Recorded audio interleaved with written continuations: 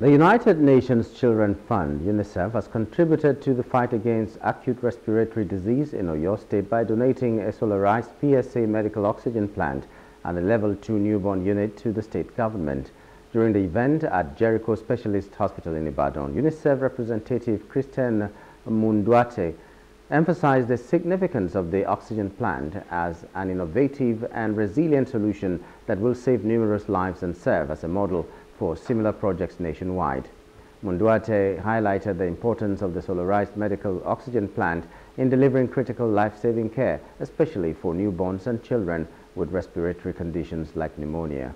This triple milestone represents a remarkable step in our shared commitment to improve maternal and child health in Oyo State and across the country one of the main reasons of um, the lack of rapid reduction of mortality rate in under five children is because the newborns their death are not being prevented enough. So this is for the newborns. This is to save life. In these challenging times we have all witnessed the critical importance of raising access to healthcare infrastructure. The COVID-19 pandemic underscored the urgent need for reliable medical oxygen supply, a lifeline for countless patients battling respiratory ailments such as pneumonia, hypoxemia, disorders in newborn babies and pregnant women, as well as support for emergency cases such as during surgeries and in obstetrics care and anesthesia. Responding, the Oyo State Governor, Engineer Seyi Makinde, emphasized the importance of establishing stronger institutions in uh, addition to infrastructure development during the launch of the Oyo State Strategy for the Scale-Up of Medical Oxygen in Health Facilities 2024 to 2028.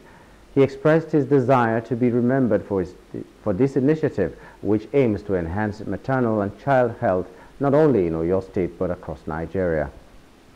Any project that improves the healthcare system in Oyo State is important to us because it keys into our administration's plan to move the people of Oyo State from poverty to prosperity.